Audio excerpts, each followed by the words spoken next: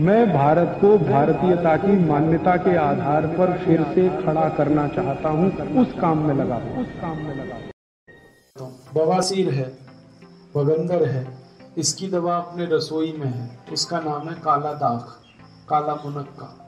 ये जो काला मुनक्का है, इसको रात को पानी में डाल दो। पाँच छः मुनक्के रात भर पानी में रखो। सवेरे उस मुनक्के को खोलो तो उसका बीज निकाल दो।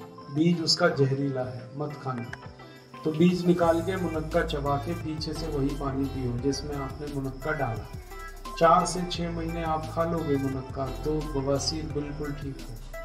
बगंदर भी ठीक होगा फिशुला भी ठीक ऑपरेशन कराने की ज़रूरत नहीं। और जब ताज़ा अंगूर मिलता हो ना तो काला अंगूर ले लो। उसको पीस के उसका रस निकाल लो। आधा कप रस सवेरे नींद में पेट पी लो तो भी बवासीर ठीक होगा। बगंदर ठीक होगा। अपने घर में और एक दवा है, उसका नाम है मूली। मूली का नीचे का हिस्सा है ना, सफ़ेद वाला, उसको पीस कर उसका रस निकाल लो, आधा कप। और वो रस खाने के आधा घंटे बाद पियो, सुबह शाम। तो बीस बीस साल पुराना बवासीर ठीक हो जाता इतनी अच्छी दवा है।